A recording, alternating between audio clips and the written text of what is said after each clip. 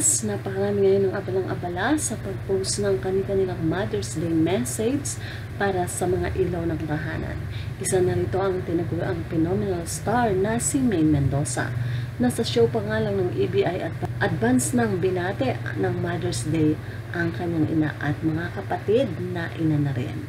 Sa kanyang Instagram account, ipinost ni May ang tatlong larawan ng kanyang butihing ina at makikita nga na bakas na bakas sa mukha ni ng inaniming ang kagandahan nito. Simpleng-simple at walang kamikap-mikap. Sa caption ni Ming, sinabi nito na Happy Mother's Day to all the incredible moms out there, especially to my nanay.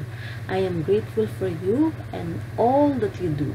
I love you, Nay. You are loved and appreciated every day. At dito nga makikita nga po ang larawan ng kanyang ina na nakatayo sa isang sa isang gilid ng kanilang bahay at sa isang larawan naman ay karga nito ang kanyang apo at sa huling larawan na Maine ay ang medyo bata pang larawan ng kanyang ina.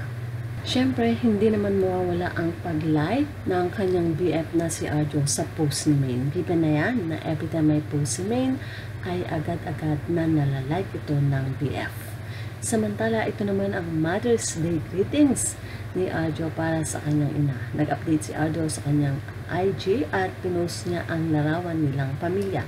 Makikita sa larawan ang masayang pamilya nila Arjo at sa harap nila makikita rin ang iba't ibang klase ng pagkain. Every time na may okasyon talaga, palaging maraming food sa pagkainan ng mga atayde. At kung mapapansin, palaging nagbibideo ang ina ni Arjo kapag nagluluto ito. Isa na talaga sa habit ng mag, mga atayde ang palaging kumain kapag sila ay magkakasama. Masagana palagi ang kanilang hapagkainan. Say nga ni Arjo sa kanyang caption, Happy Mother's Day, Ibyang. Ayan. Tinawag pa nga ni Arjo na Ibyang ang kanyang ina. Ang Ibyang ay bansag kay Miss Sylvia Sanchez at ito nga ang sinabi nitong si Arjo.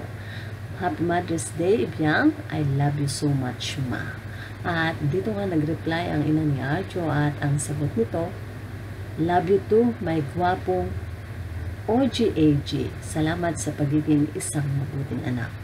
Sa kanilang usapan sa inbox, makikita na hindi lang sila mag-ina, kundi magkaibigan at magkabarkada. Makikita nga ito sa pagbitaw nila ng mga salita na talagang may biruan pa. Kaya naman, happy pareha si Min at Arjo sa kanilang mga ina dahil very supportive ito sa kanila. So mga ka-SAAS, yan nga po ang ating update. Ano ang masasabi nyo? Just comment below. At syempre, huwag kakalimutang mag-like, share, and subscribe. Hanggang sa muli, lagi ko paalala, ingat ang lahat. God bless everyone. Happy Mother's Day po sa lahat ng mga ina.